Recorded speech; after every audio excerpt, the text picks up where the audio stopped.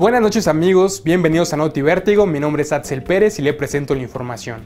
Funcionarios y legisladores de tiempo completo, eso dicen que necesitamos. Este domingo, durante la misa de Pascua en la Catedral Metropolitana, un grupo irrumpió y destrozó una imagen. Siete personas fueron detenidas, pero ya fueron liberadas porque no se encontró delito que perseguir. Marcelo Ebrard, jefe de gobierno del Distrito Federal, censuró el comportamiento intolerante de los detenidos.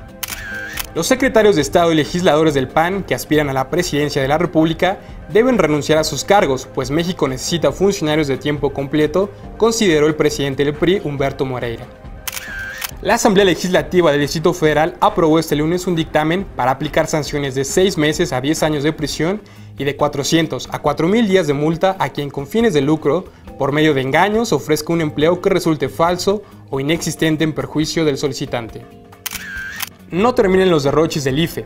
Ahora nos enteramos de que pagó 400 mil pesos para monitorear redes sociales, 150 mil pesos para el mantenimiento de las unidades caninas detectoras de explosivos y 158 mil pesos a un matemático por una fórmula para repartir incentivos.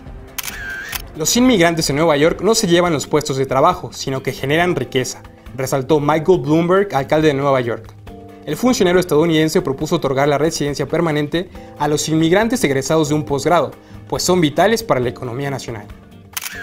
Recuerde que la revista Vértigo Político está disponible en su versión de iPad o nuestro portal de internet www.vertigopolitico.com, donde podrá acceder a nuestras redes sociales de Facebook y Twitter. Gracias por su tiempo, se despide de ustedes Axel Pérez, quien les desea muy buenas noches.